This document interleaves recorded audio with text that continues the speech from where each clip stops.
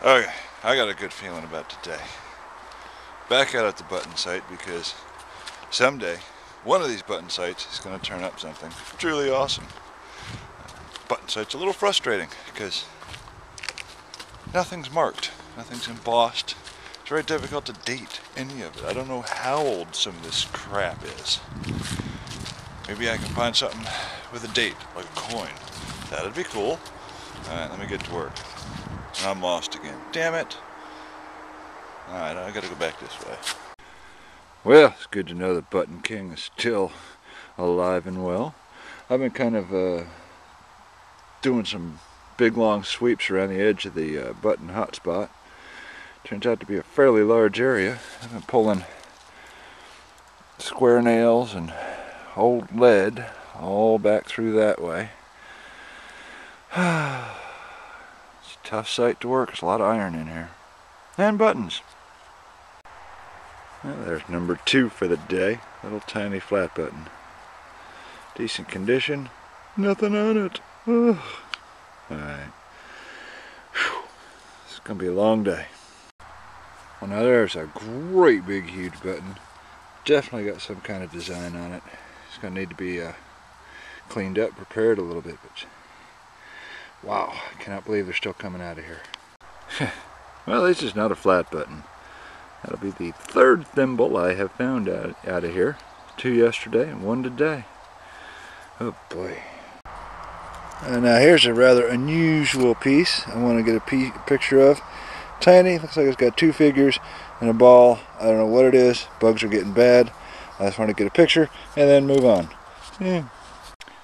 Eh, there we go. Flat button number five for the day. Very beautiful silver. And I don't know. Uh, it's hard to tell if this one's plated or not. It's silver all the way to the back. Have to check it out later. Very cool. Wow, it's got a gorgeous decorative buckle. Got flower pattern on it. I'll get some pictures of that later. That's a nice one. Still no coins. But we're getting nice cool stuff, so keep at it. I'm up six flat buttons. Nice musket ball. Got a little hot spot here. All kinds of neat crap coming out. And speaking of, that is a big old hunk of decorative sterling silver.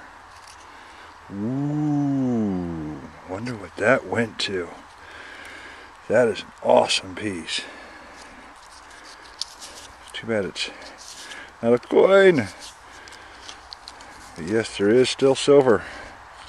Looks like I got a pack of dogs moving in on me over here. One of them.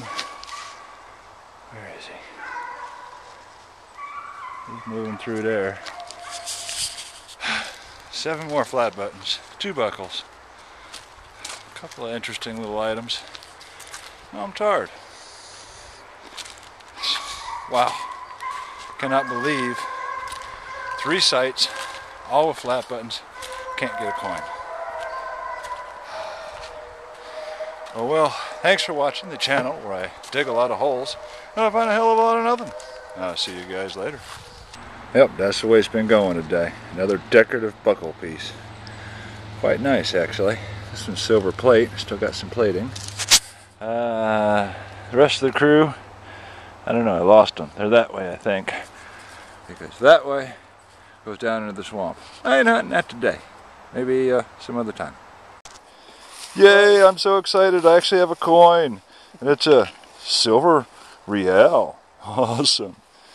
Ultra worn. I ultra don't care. So I'm having a little bit of fun today.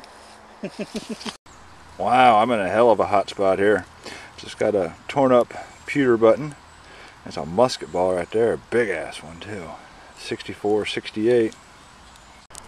Damn. Now that's an outstanding flat button. Look at that sucker. Woo!